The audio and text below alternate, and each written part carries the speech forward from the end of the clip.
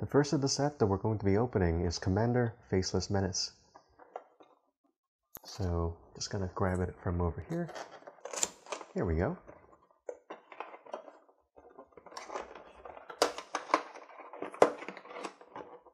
It's a bit hard to actually slide out.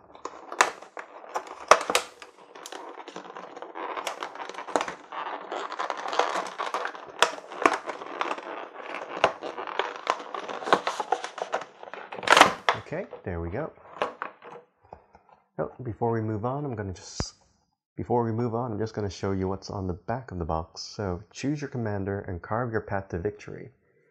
In this unique multiplayer magic format, team up with Kadena and deploy a shape-shifting force of morph creatures to um, ambush your opponents. Then take them down one by one.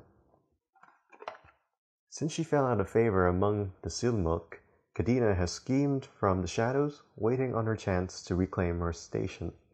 She camouflages her spies with obscuring magic, hoarding information and influence until she can claw her way back to the power she craves. So we're going to get one deck box, 100 cards with 17 new cards, and 10 double-sided tokens. Okay.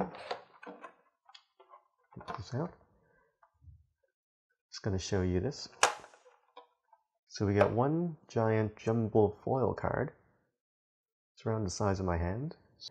So this is the box you're going to get your Faceless Menace in.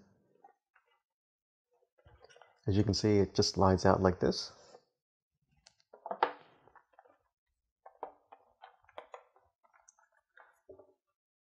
Okay.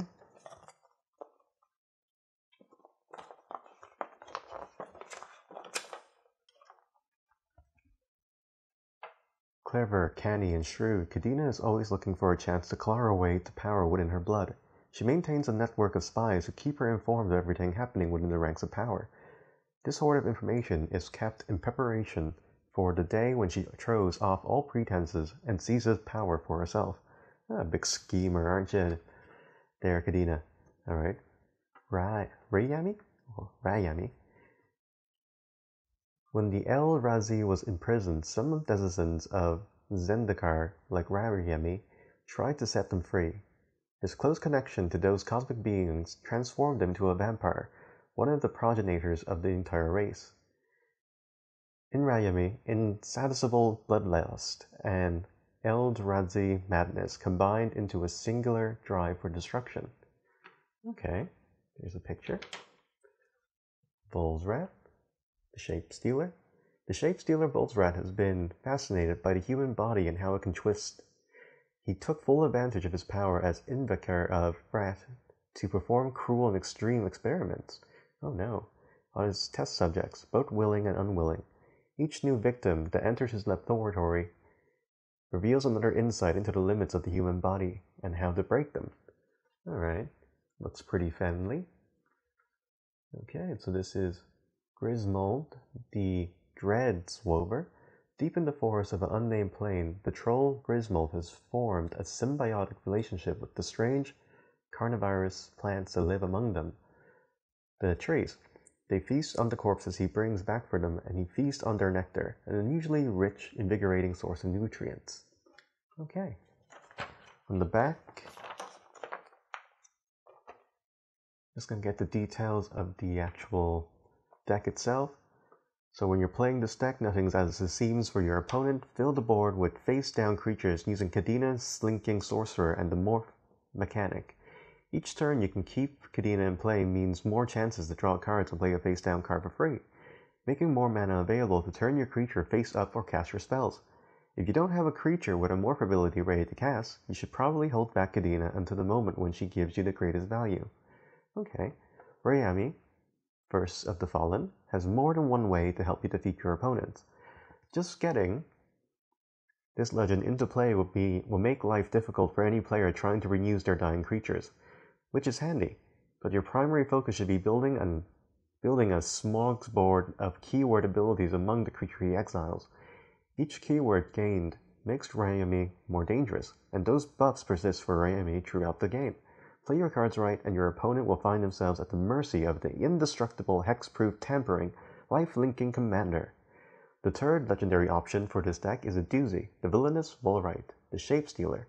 Make no mistake about it, Volrite is a major combat threat, but it's a shape-changing ability that makes you bound to give your opponents fits. Copy a Megamorph Den Protector to swing for 7 damage, or swing or shrink your opponent's biggest threat and steal its ability for yourself. Remember that Volrite's combat damage is always commander damage, regardless of the creature you're copying. This is just basically the rules to play commander. It's, I'm pretty sure you all know already, so let's dive right into the deck. Oh, this is a pretty meaty deck. Alright. Oh, here we go.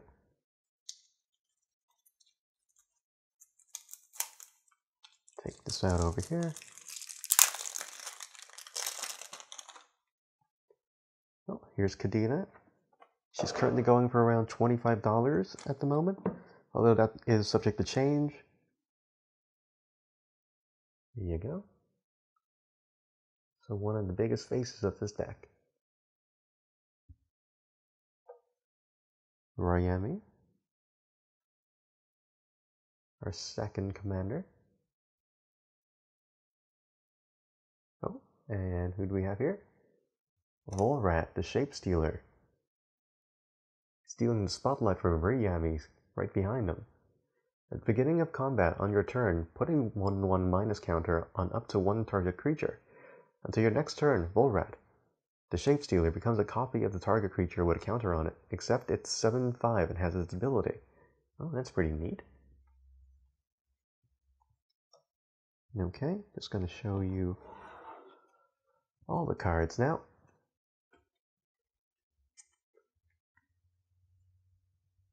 Firstly, we have the Subring, double-sided Renumber, Manifest, Saproling again, more Saprolings, here we go, Assassin, a Morph, want to make sure you guys get a good look at all the cards. This product is currently retailing for around 35 euros, I believe, but that's on the low end of the spectrum. Pretty sure you can find a good deal on it. I bought it online for a little bit over a hundred bucks. Leadership Vacuum, Mire and Misery, Voice of Many, Scaretiller. So this is probably going to be a tricolor deck. So blue, black, and green. Is it Willbender? I mean, aside from Volrat, I'm not too sure if there are any cards worth of much other value or significant other value in this deck.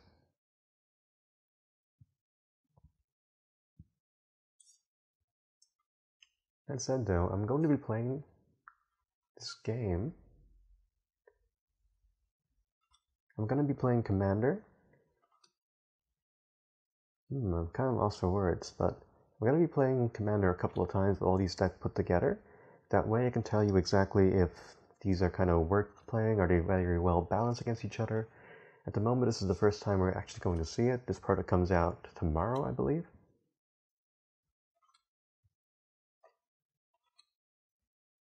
So plenty of time there. Oh, lots of island cards. Unique artwork. Kadena's Silencer. Alright, I kind of like how they separate each pile of cards by the mana. Oh, spoke too soon. Gift of Doom, Teething Amalgam, Apex Altisaur, Road of Return. Oh, Grismold Dreads Wover. There you go. He's the one that has a symbiotic relationship with the trees. This is why plants are scary. So, Ghastly Conscription. This is oh, getting quite a bit of mythic cards here. Hydra, Rask the Unseen. Okay, so I think this is the third most expensive card in the deck. So there you go. Honestly, I can't really wait to play this on my Magic Monday nights. Stratus Dancer, Like a lot of people who come to around my event tend not to either be coming back into Magic or haven't played in a long time. So having these pre-built decks just to play different formats is really nice. I was playing with the uh, what you call hmm, guild decks and guild kits, which were pretty fun, but they're only really useful one on one. So it'd be pretty nice to get like the entire gang together and we can play like a 4v4. Trail of Mystery, Biomass Mutilation, Bounty of Zuxa, Sagu Mauler, Strific Resonator, Darkwater Catacombs, Exotic Orchard, Llanowar Wastes, Shrine of the Forsaken Gods, Sunken Hollow, Thespian. If you guys are going to be getting any of these, tell me which one you prefer. Well, after we're done, anyway. Because I'm thinking of playing this one, because I tend to like black and green. Blue, I'm not too sure. There didn't seem to be a lot of counter cards in this deck, but it kind of scales up with the leaders, so we'll see. Plenty of time anyway. No, a lot of forest. And an Ash Barrens. A Bog, Commander Tower, Dimir Aqueduct, Evolving Woods. I like how they all have this little symbol to tell you that they're only being used in Commander.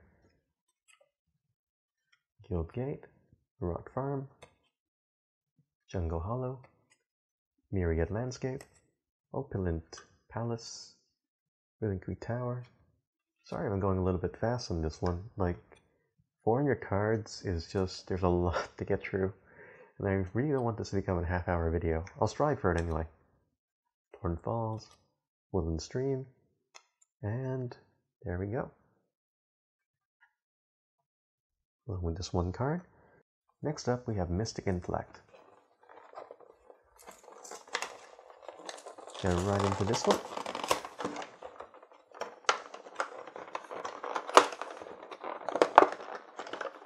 I probably should open them from below.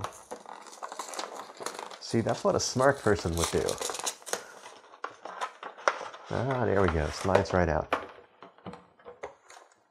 You see, real smart people admit their mistakes and learn from them. There we go. I'm not liking how they're putting these cards in. It's a bit hard to do it without damaging the card. Alright, just pop it out. There we go. There you go. Sevinne, Chronoclasm. Put him over here. Over here, where there's no glare. Okay, so this deck box is more reddish. Comes with a Mystic Intellect on the side. Okay, open this one up. And here we go.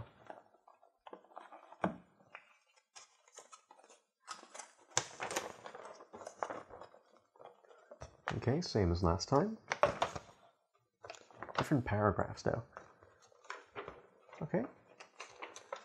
Sevinne the Chronoclasm. Sevinne is a wizard with a taste for adventure and a love of exploration. Trained at the Tor- Tolarian Academy, he grew restless when his studies and, as soon as he gained his wizard powers mantle, left to roam the world. A gifted sorcerer with an encyclopedic knowledge of the arcane arts, he relies on his magical prowess to aid him in his escape deeds across the Maria. Dominaria. Elsha of the Infinite. As the first ever djinn to earn the title of head abbot at the Sage Eye Stronghold, Elsha is more than capable to lead. Strong, patient, and wise, she is unparalleled master of martial magic, using her quick reflexes to cast spells in the blink of an eye. Pramikon Sky Rampart. Rampart? Rampart on a plain perpetually cloaked in mist, a mystical, a mysterious wall rises from the surface of the ocean. It seems to have no end, stretching for miles in either direction. Anyone who approaches it finds themselves suddenly veering off towards unexpected destinations, as though an unseen hand is determined to steer them away. And lastly, Gerald, Weatherlight Hero. Gerald Capashen was the culmination of Urza's bloodline project. The perfect warrior, meant to inherit Urza's legendary legacy and destroyed the Phyrexian threat to the Dominaria once for all. Though he struggled to accept his destiny, In the end, he sacrificed himself to protect those dear to him. To this day, he is remembered as the savior of Dominaria. What a nice guy. Okay, so our primary commander is Sevinne the Chronoclasm, and secondary commander is Elsha of the Infinite, Pramikon, and Sky Rampart. The Mystic Intellect deck is built upon a complex system of synergies that reward all of you casting spells from your graveyard, especially instants and sorceries with flashback. Salvan, the Chronoclasm, gives you access to an additional instance of the first spell on each turn, so get him to play before you get the fireworks. His damage prevention ability deters opponents' attacks and keeps you from blowing him up with damage dealing spells like Magma Quake. Your deck also depends on lots of artifacts and enchantments to generate mana, draw cards, and defend yourself.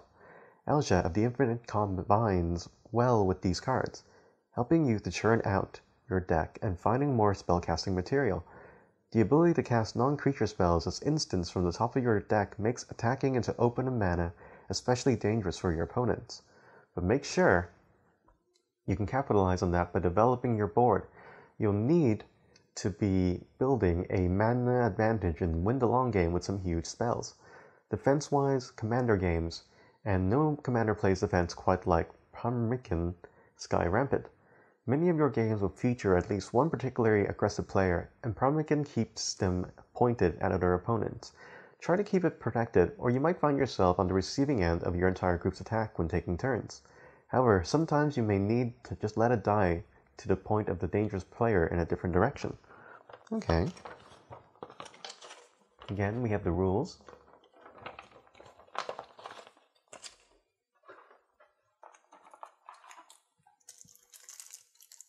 Just gonna open this up. There we go. Whoops.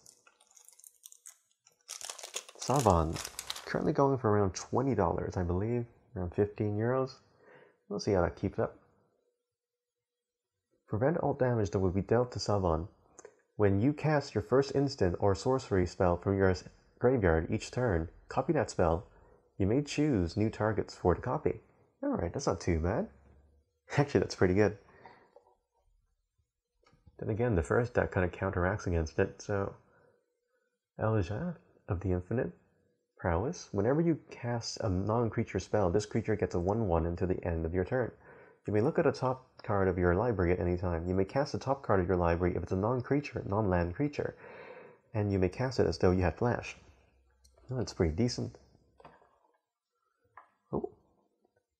Pramikon Sky Rampart. He's a flying defender. As Pramikon Sky Rampart enters the battlefield, choose left or right. Each opponent may attack only the nearest opponent in the chosen direction, and Planewalker is controlled by that opponent. Here we go. Here's the spirit token. Reveals a human when you flip it over. And the art in the human's pretty nice. Loving these full art tokens. Pegasus. I wonder if he knows about dual monsters. Drake? Huh. Okay, so are they all humans on the inside? I believe we're all humans. the real treasure are the humans we make along the way. Cliffside Rescuer, Leadership Vacuum, The Thirsty Blade, Scalsa, Ghostly Prison. reminds me a little bit of Byakuya from Bleach. Prismatic Stance, Purify the Graves, Ray of Distortion, deep analysis, fact or fiction, forever denial, this grace, unique. Oh, so this one really plays with the blue, which makes sense. There's a lot of nice blue spell cards. So field removal with the red. Roiling Trembler. Crackling Drake. You can't have a blue red deck without a Crackling Drake that focuses around spell cards. Okay, so there's a tricolor here. So it's white, blue, and red. Acclamation, Giscant, Mass Diminish. Dockside Extortionist, Ignite the Future. Not too sure you guys can hear that, but there's a plane currently flying over me. So, oh, okay. Pristine Angel. Flying. As long as Pristine Angel is untapped, it has protection from artifacts and from all colors. Whenever you cast a spell, you may untap Pristine Angel. Okay, it's pretty decent, but it costs 6 mana to put out, so take it with a grain of salt. Sun Titan, Vigilance. Whenever Sun Titans enters the battlefield or attacks, you may return that permanent card with converted mana cost 3 from your graveyard to the battlefield. Okay, so just gonna let you guys pause the video if you want to read any of these because I don't want to make it too long. But it sounds as if it really wants you to persist with a graveyard. If you manage to get Leyline of Sanctity against this, I'm pretty sure it will just deny this deck pretty straight away. Jace's Sanctum. So the chances of getting like one of those is pretty slim. And I don't really plan on like altering these decks anyway. I really like how Wizards is managing to build some pretty nice balanced decks so I've seen so far. Uh, fingers crossed that this will be one of them. I can tell you more about it on Monday if you want to, I don't know, listen to my thoughts about if this is a good buy, if this is something that you should probably pick up for your like a group of friends that don't play Magic but just want to like play Commander, then let me know. I'll give you my full review on it when push comes to shove. A lot of plains and islands. They could have done a little bit of the, I don't know, art on the mana. Like they did with the guild kits. Honestly, it doesn't really cost that much. I suppose they gotta save that for something. Mountain. Oh, this one gets an Ash Barrens as well. Azorius Chancery, Boros Garrison, Boros Guildgate, Command Tower, Evolving Wilds, Highland Lake. Is it Boulder Walk? Is it Guildgate? Myriad Landscape, Mystic Monastery, Stone Quarry, Swiftwater Cliffs, Temple of the False Gods, Terramorphic Expanse, Tranquil Cove, Wind Scarred Crag, and discover more magic. There you go, everybody. Sorry for the interruption, everyone. Just gonna get this open now. Couple of my friends just popped on by. It's almost like they don't know I'm trying to make a Magic the Gathering video today. Oh, sugar, I went to the other side. There we go. And we pull this out. There we are. Give you a nice look at the card.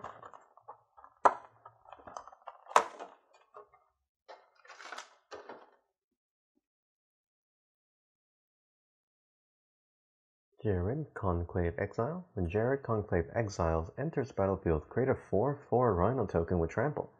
Whenever Ghired attacks, populate. The token enters the battlefield tapped and attacking. To populate, create a creature token that's a copy of a creature you control. Okay. Okay, open this one up. Same as the others.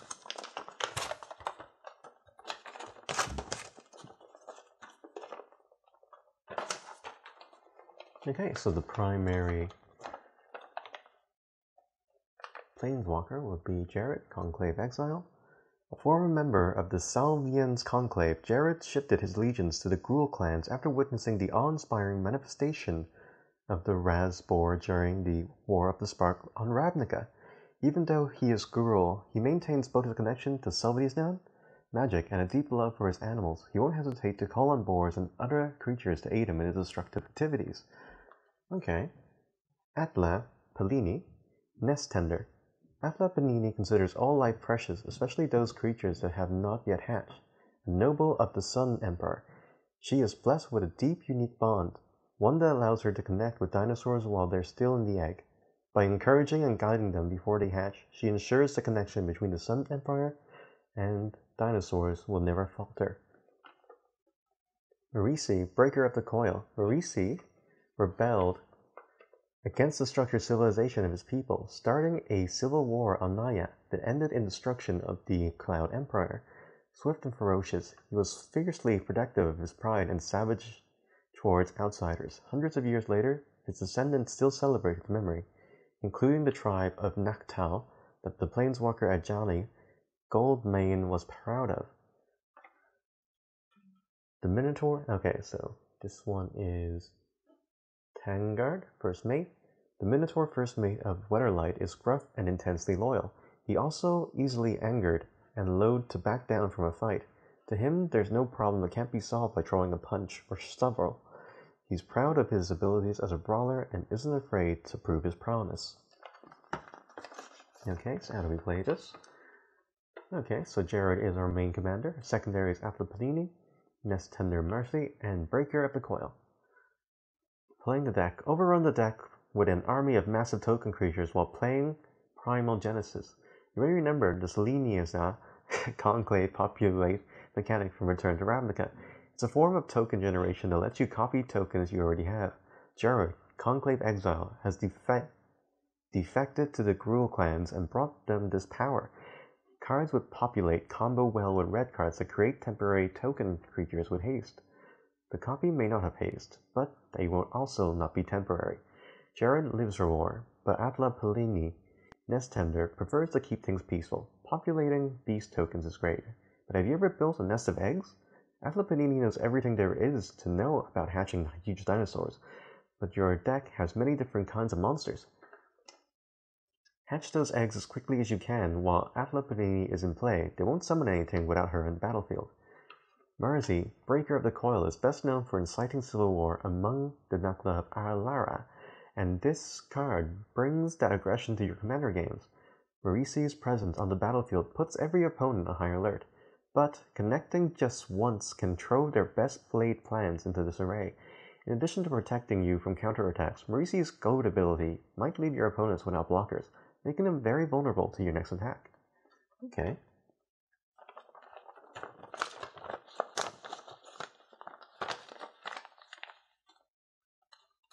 Put this over here.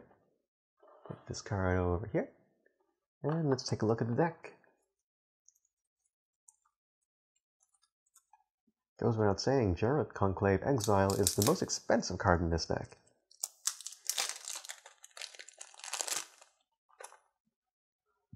Okay, have a good look at Ghired in his non-giant form. Atman, Palani, New Tender, Marisi, Breaker of the Coil. Same clan as a genie, a Johnny. So Heart Piercer Manticore. Flip it over, we get our Dragon Fuller, Injurious Sanctums, and we get Horror. Oh no, look how terrifying that is. Bird, getting a sculpture. Bird again. Another sculpture. Beast, we get a full art worm. Another beast token, centaur. We get an egg. Elderons, another egg. A rhino, also an egg. And gargoyle, who is also an egg. Cliffside Rescuer, Hate Mirage, Voice of Many, Scaretiller, Untankable Virtue, Okay, So, oh, okay, so this is a tricolor deck as well. So green and white. I'm missing a color, but I'm pretty sure I'll show up pretty soon. I think it's red now. Elemental Bond, Explorer, Farseek, Pack Leader, Harmonize, Sakura, Tribe Elder, Slice and Twan, Naya Charm, Sundering Growth. Okay, so this deck basically focuses around populating and creating massive amounts of tokens. Pretty sure we can play that card from, can't remember the name of it, but it lets you return all creatures to your hand, and if you have more than four, you get to return one to the battlefield. I remember using it quite recently in the M20 draft, and I just demolished this other guy. That was pretty fun. Okay, Angel Sanctions. Flying when Angel Sanctions enters the battlefield, you may exile target non-permanent an opponent controls until he disappears. For Embalm 5, exile this creature from your graveyard. Create a token as a copy of it, except it's a white zombie angel with no mana cost. Embalm only as a sorcery. Okay, so he's a pretty sticky creature. Hmm, also playing a brand new... Oh! Another Planeswalker. Okay, a tree tree beast creature. For minus 3, you can draw cards equal to your greatest power among the creatures you control. And minus 6, create a 6 6 worm creature token for each land you control. Oh my. That's pretty. That's too good, but it's 5 mana, so take a little bit of time before you can play it. Oh my. Dissolent Twin, Hour of Reckoning, Helix Rebirth, Flamerush Rider, Heart Piercing Manticore, Fresh Meat, Momentous Fall, Rampaging Baloths, Second Harvest, Shamanic Revelation, Tug Disc, Emera Tendris, Growing Ranks, Wayfaring Temple, Mimic Vat, Soul Foundry, okay, and a bunch of dual color lands, I assume. Hmm, only one dual color land. Yep, spoke too soon again. I really do wish that they had the little thing on them. Like even a symbol would have been pretty nice. Mountain, mountain. Actually, for like, I think normally these things go for around 40 to 45 euros. But if you check online, I'm pretty sure there's a couple places selling them for like 35. You buy them in a bundle as well, so get. Another discount. Just remember to message the seller. Personally, I'm not stocking any of these myself. Simply because the margins of these aren't that great. But in terms of an actual product, I think these are pretty nice. Haven't seen. I mean, they're a major improvement from last year anyway. Krosan Verge, Myriad Landscape, Naya Panorama, Rogue's Passage, Rugged Highlands, Sanctuary, Terramorphic Expanse, and Discover More Magic. Sorry for the cut, everyone. The camera just kind of gave out for a second, but let's finish this off with Anje Vulcan Just a second. I believe this man is currently the least valuable of all of the uh, planeswalkers that are exclusive to the commander decks, going for around five bucks at the moment.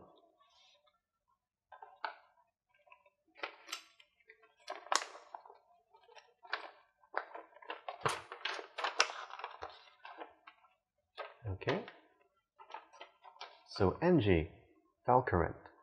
The Falkenrath vampires of Innistrad are feared for their savagery.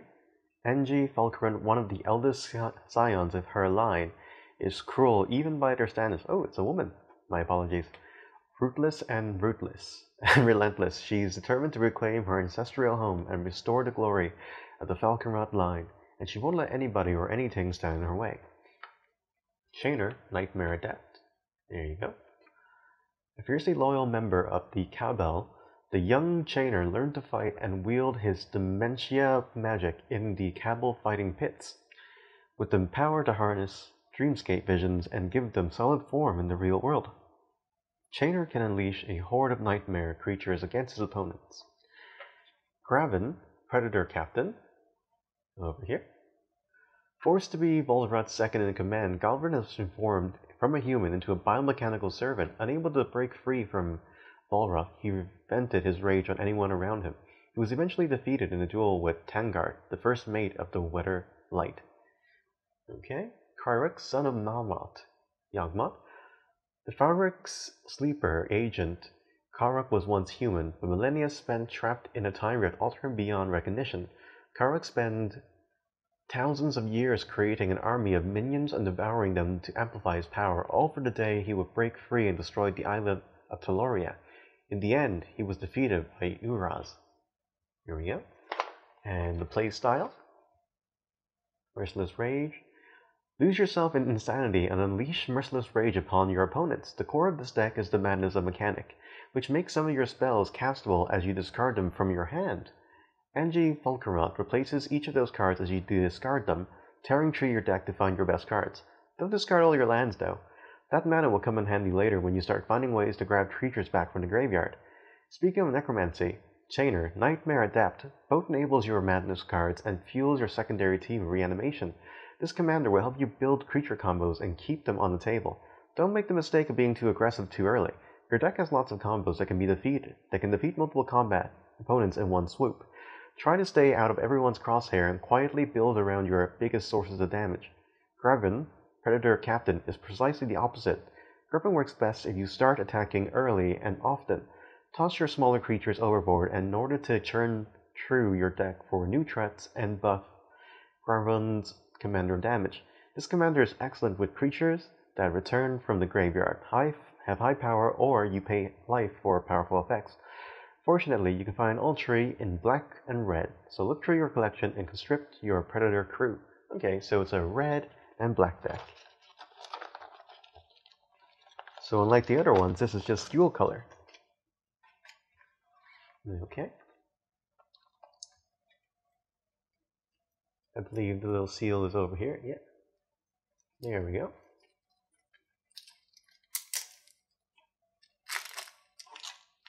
Take that off. And here we go. Anje, Falkenrath. Here you are in all oh, oh, oh, oh, sugar. In all his glory. Anje Falkenrath. Haste, discard a card. Whenever you discard a card, if you have Madness, untap Anje. Okay. Chainer, Nightmare Adept. There you go. Greven Predator Captain. Okay. So, not too bad. Menace gets X and X for the amount of life you lost this turn. Alright. 5 mana. Okay. Zombie token. Creepy zombie token. Zombie token.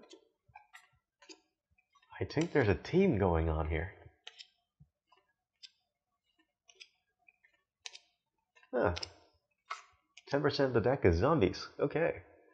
Mire and Mad Misery, Haste Mirage, Bloodthirsty Blade, Scared Teller, Big Game Hunter, Call to the Netherworld, Dark Withering, Fate of the Devoted, Gorgon Recluse, Grave Scrabbler, Murderous Compulsion, Nightshade Assassin, Plaguecrafter, Sanatorium Skeleton, Eldest Reborn.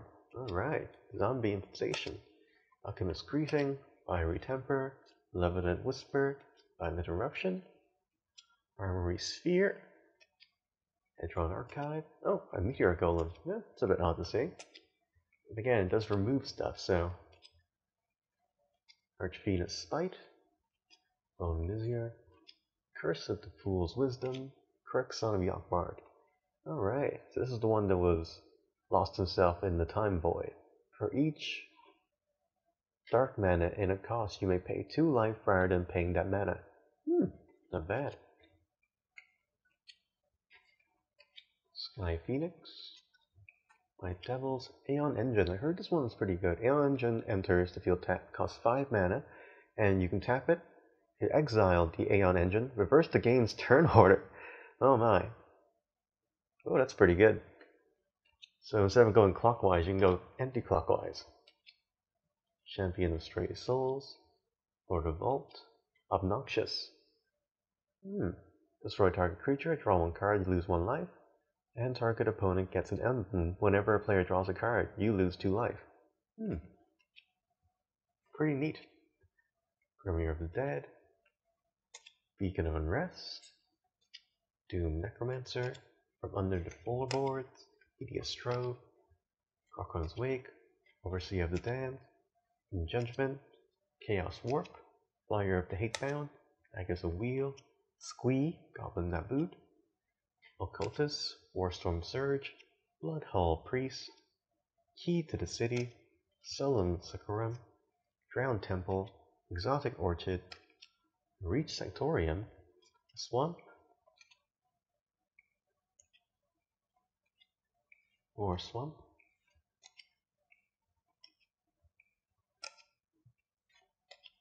Mountain, mountain, mountain, more mountain. Hmm, I believe there's a lot of land in this. I kind of wish that they had a little thing where you can just choose not to take the lands because, I mean, if you play this game long enough, then you're just gonna have like a mountain of mountains.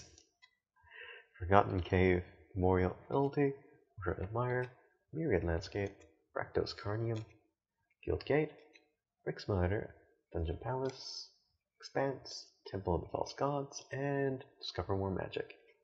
Alright everyone, thank you very much for watching. Be sure to hit that like and subscribe button if you want to see more of my content, and uh, I hope you all have a nice day. See you next time. Bye.